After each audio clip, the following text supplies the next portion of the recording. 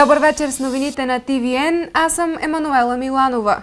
В предпоследния ден на отиващата си 2013 година сме ви подготвили обзор на по-важното, което се случи през тези 12 месеца. С какво се промени Русе и какви събития белязаха живота на града и региона. Открояват се няколко положителни новини, които привлякоха вниманието на света към нашия град. Започваме с откриването на Канев център. Безспорно един от най-позитивните моменти през годината. На 10 октомври в Руса на официална церемония бе открит единствения по рода си университетски конгресен Канев център към Русенски университет Ангел Кънчев – сред гостите на събитието бяха дарителят и филантроп Игнат Канев, настоящият президент Росен Плевнелиев и неговият предшественик Георги Първанов, патриарх Неофит, кметът Пламен Стоилов, дипломатически лица, депутати, представители на местния бизнес и други обществени личности. Преди да пререже лентата на новата придобивка на Русенското висше училище, Игнат Канев посади дърво в близост до сградата. С изграждането на центъра реализирах една от мечтите си, каза бизнесменът пред присъстващите. Той бе категоричен, че образованието трябва да бъде приоритет за младите и по тази причина е дал съгласие центърът да бъде в Русенския университет. Двоетажният комплекс, свързан с ректората чрез топла връзка, разполага с многофункционална зала с 800 места, сцена с площ 120 квадратни метра и аванс сцена. Фуето е с кафе, бар и гардероб, като към него е предвиден и ресторант с 120 места. Изграден е и асансьор за осигуряване на достъпна среда. На втория етаж са разположени заседателна зала с 70 места, конферентна зала с 100 места и зала за пресконференции.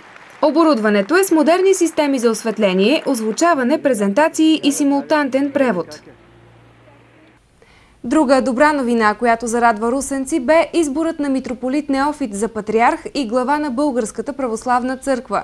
Българите и днес продължават да се надяват, че негово светейшество ще се умее с ум, блага дума и твърда ръка да изведе православната църква от скандалите и ще върне у хората вярата в доброто и Бог. На 24 февруари Светият синод на Българската православна църква избра за патриарх митрополит Неофит на мястото на починалия в края на 2012 година Максим. За него гласуваха 138 от 143-мата делегати на Патриаршеския избирателен събор. Изборът на русенския владика бе посрещнат с огромни надежди от миряните и клира. Скандалите в църквата обаче продължиха.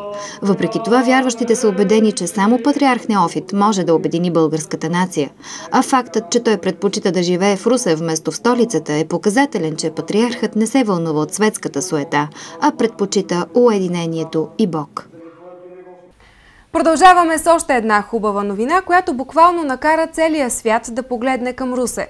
Четири знаци се родиха в Русенския акушеро-гинекологичен комплекс на 10 септември. Родителите на бебетата всъщност са очаквали три деца, но бяха изненадани от две момичета и две момчета. Роднини и приятели помагат на младото семейство в грижата за малките. На 10 септември в Руса се родиха четиризнаци. 31 годишната майка Севдия Ахмет роди чрез секцио. На бял свят се появиха две момченца и две момиченца. Жената е заченала чрез метода инсеминация в столична клиника. Бебетата са очаквани от семейство Архани Севдия Ахмет цели 8 години. Децата носят имената Енес, Ранес, Бенет и Севи. Община Русе реагира светкавично и осигури общински двустаен апартамент на многолюдното семейство. Ключовете на новия им дом и парична помощ в размер на 1000 лева бяха връчени на малка церемония в сградата на местната администрация от кмета Пламен Стоилов. По думите на таткото на четиризнаците, двамата с съпругата си са предпочели двустайно жилище, защото в момента им било достатъчно, а и обзавеждането е по-ефтино. Когато децата поотраснат, ще кандидатстват за по-обширно. Продължаваме с добрите новини. Започва изграждането на пробива при Кауфланд. С това се ангажира кметът Пламен Стоилов.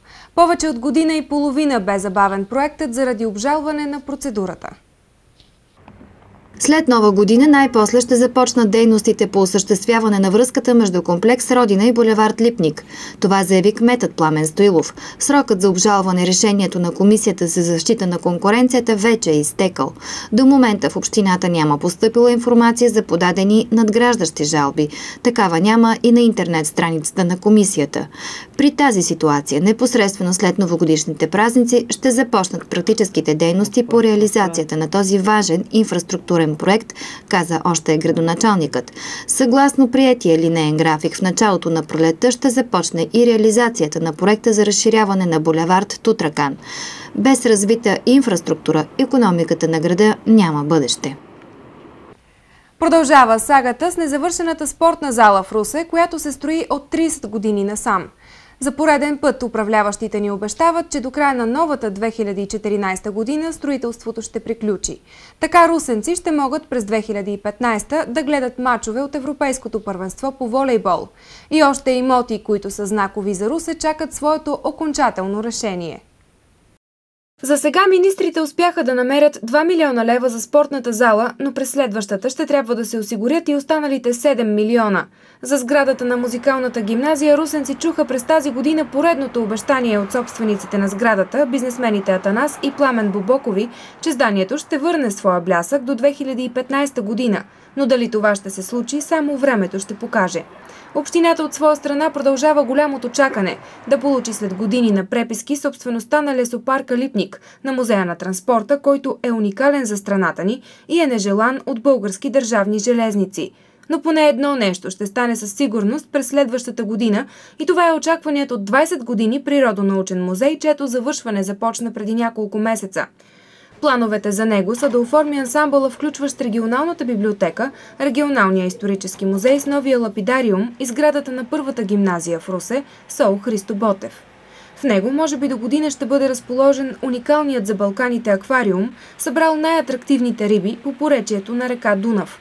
През годината бе отложен във времето още един от най-болните, не само за русенци, проблеми – Пътят Русе-Бяла превърнал се в синоним на чиновническо бездушие и политически еквилибристики. Колко ли семейства още трябва да се зачернят, за да проумеят някои, че България не е само на юг от Стара планина, а че този път е важен за всички – и българи, и туристи, и преминаващи.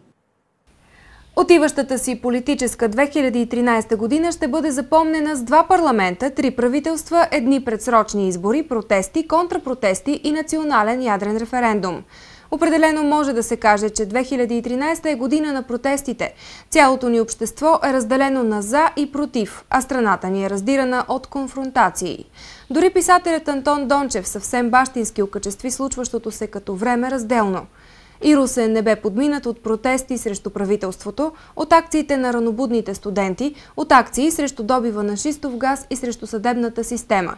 И ако в столицата хиляди хора се включиха в протестите, то в Русе те са около 20 на човека. Що се отнася до парламентарните избори през май, политическите наблюдатели казват, че на тях всички партии са губещи.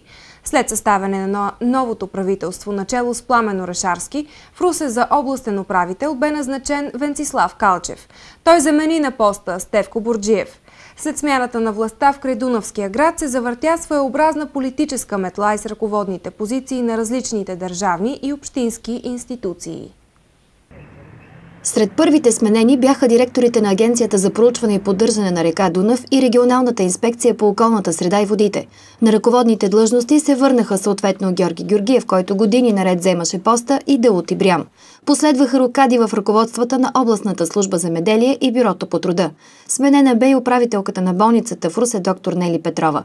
Заради оттегляне по собствено желание на комисар Светослав Парванов, в момента русенската полиция има временно изпълняващ длъжността директор. Документи за напускане е подал и ръководителят на Държавен фонд Земеделие Димитър Кънчев, който е общински съветник от ГЕРБ. Последното политическо уволнение е на шефката на областната дирекция социално подпомагане Татяна Дончева. За нея и служители и контрагенти са категорични, че е професионалист в работата си. За смяна се спряга и името на директор на автомобилна администрация Русе Валентина Танасов, но той все още е на поста си. С идването на власт всяко правителство декларира, че политическа метла няма да има, но е повече от ясно, че това са думи казани в общественото пространство. По данни на сегашните управляващи, правителството на ГЕРБ е махнало 40 000 чиновници от различни институции. Основното оправдание за смените е не само политическата принадлежност, но и несправене с задълженията. Запознати обаче коментират, че за да се създаде един качествен чиновник са необходими минимум 3-4 години. Така се получава един затворен порочен кръг на уволнения и назначения след избори, което не е в полза за никого, нито за служителите, нито за обществото. През 2013 се разделихме с невероятни русенци. Още в началото на годината ни напусна един от основоположниците на българския джаз и дългогодишен солист в състава на Русенската филхармония Петър Петров Парчето. Той си отиде на 80 годишна възраст, но остави огромна празнина в сърцата на всички негови почитатели и приятели. В това отношение годината е фатална и защото през април почина още една от легендите на русенския джаз, Стайко Стайков, не навършил 63 години, той не успя да се пребори с рака, въпреки подкрепата на музикалната гилдия. През май си отиде още един човек, който с дългогодишната си работа като лекар е спасил хиляди животи. Доктор Димитър Граматиков бе еталон в лекарските среди, не само като специалист по белодробни заболявания, но и като успешен ръководител на диспансера, който сега носи неговото име. 2013 година обаче бе успешна за други русенци. Те проявиха невероятно мъжество и стоицизъм и доказаха, че постиженията им са уникални. Русенката Силвия Митева бе обявена за състезател номер едно на 2013 година от Българската федерация по художествена гимнастика. Майката на Силвия, която носи същото име, пък е обявена за треньор номер едно на годината. Дъщерята взе златния медал на лента на турнира от Световната купа, който се проведе в зала Арена Армеец през май. Силвия спечели три бронзови медала от Световното и три медала от Европейско първенство по художествена гимнастика. Русенката е носител на 61 медала и купи от различни първенства. На 7 ноември обаче нашата гордост сложи край на спортната си кариера. Друг русенец, Теодор Кисимов, стана първият българин, покорил най-дълбоката пещера в света. Тази година той се спусна като участник в експедиция на дъното на пещерата Крубер Вороня в Абхазия до рекордната дълбочина от 2145 метра – Цели 8 години Теодор се подготвя за това премеждие и разказа, че откривателството и любопитството да е пръв при подземните географски открития е основната му мотивация. Сега Теодор мечтае да покори най-дълбоката пещера Папуа, Нова Гвинея, но не е сигурен дали ще успее да осигури финансиране за това екстремно начинание. Обзорната емисия новини на ТВН продължава с едно уникално преживяване от началото на септември. Хиляди русенци пяха песента July Morning, не с кого да е, а с невероятния Джон Лоутън от Юрая Хип. Припомнете си събитието от следващото видео. There I was on a July morning Looking for love Хиляди русенци пяха заедно с вокалистът на Юрея Хип, който бе в града ни, за да се включи в Green Rock Феста. В него участваха млади рок групи не само от България, а и от съседна Румъния. Безспорно кулминацията на вечерта бе двучасовият концерт на Лоутън и групата му, които забавляваха множеството на площада. Програмата, която поднесоха, включваше песни на Юрея Хип и авторски произведения на членовете на групата. С най-голям ентусиазъм бе посрещнато парчето July Morning, което и до днес е една от най-разпознаваните разпознаваемите песни на Юрая Хип.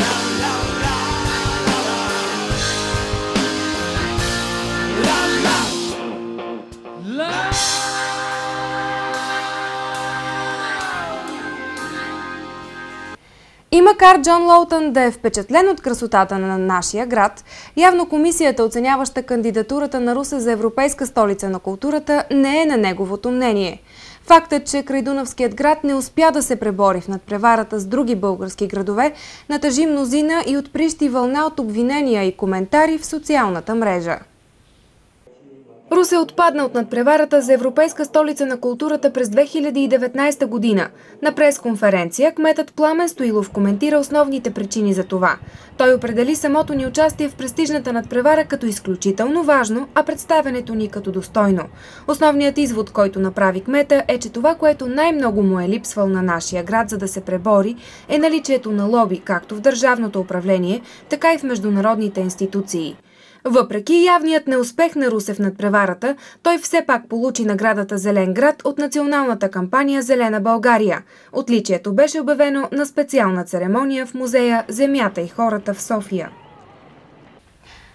Месец преди края на 2013 година на 9-годишния Дамян от Русе бе поставена тежка диагноза – Детето претърпя две операции, а русенци се обедениха зад благородната кауза да помогнат на едно момченце в нелеката борба с тумора. Все повече хора и институции се включват в благотворителната инициатива Спаси Дамян. Драматичният театър Сава Огнянов подготви благотворително представление, а приходите от детския спектакъл на Кукления театър бяха предоставени в подкрепа на семейството на 9-годишното момче. В Канев център бяха организирани поредица благотворителни концерти. Новината за заболяването на детето мобилизира всички русенци, като първи бяха съучениците на Дамян от училище Иван Вазов. Заедно с родителите си те събраха около 7000 лева. Ученици от много училища подкрепиха момчето с различни инициативи. Средства по сметката на Дамян са преведени от десетки наши съграждани, институции и частни фирми. Така в края на годината се оказа, че Русе се обедини в името на детски живот. Такива бяха новините през 2013 година. Искрено се надяваме следващите 365 дни да бъдат по-добри за всички ни. Нека разделното време отмине и да дойде времето, което ни обединява. Показахме, че го можем. Екипът ни ви пожелава здраве, любов и успешни начинания през новата 2014 година.